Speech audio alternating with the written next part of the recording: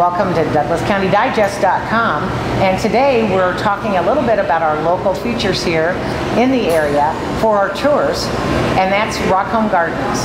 One of the special highlights that I particularly enjoy about Rockome is the restaurant. The restaurant was under different management and ownership until this year.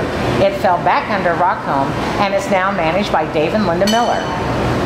I'd like to introduce to you today Linda Miller, who's going to be speaking with us about some of the features of the restaurant. Linda, I want you to tell us a little bit about why you and Dave decided to take on this big venture of the Rockome restaurant. Just been dreaming about it for several years and finally decided to jump into it and uh, we were looking around for a restaurant to own or run or something, and this came up, so we decided to give it a whirl. Uh, tell us a little bit then about um, what is so unique about Rockome Restaurant. What entices people to come here? Um, a lot of people enjoy the just the atmosphere. It's a pleasant, calm, peaceful atmosphere um, where they can, you know, listen to some bluegrass music in the background. There's always a pleasant view. And of course, last but not least, the good food. We we try to make everything from scratch for the most part. It's good down home cooking. Uh, tell us a little bit about some of the features that you have on your buffet. Well, actually, we just started um, on Mondays and Tuesdays. We we started serving just the menu. Every day we have a different. We feature a different um, meat. We always feature our fried chicken, which everybody loves. Yes. Um, and then we, um, Mondays we like to serve our ham loaf. Um, Tuesdays is turkey. Uh, Wednesdays we have an amazing brisket. Um, pulled pork on Thursdays. Of course, fish on Friday. Got to have those fish. And then on Saturdays we have a really good grilled chicken. Um, and Sundays we serve my mom's meatloaf.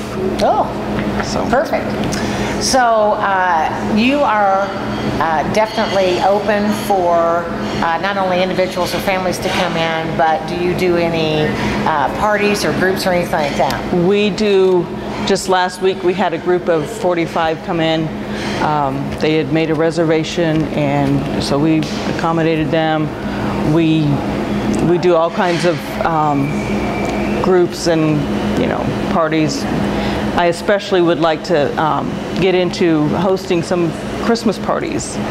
Other years in the past, they were always they closed um, when the park was closed at the end of the season, and so we were hoping to keep the restaurant open. The park is open from Wednesday through Sunday. Mm-hmm. But obviously, with your seven day menu, you're not. Right. So, what are your hours then? We are open from 11 to 7 every day, except Sunday, we open from 10 to 5. And then, do I have to be in Rockome to get to the restaurant? No, no. You can actually come in and just enjoy our great food. So then, do I need a reservation to come into the Rockome restaurant? We actually don't recommend reservations for groups under 15. Um, for the most part, we can accommodate them without any glitches.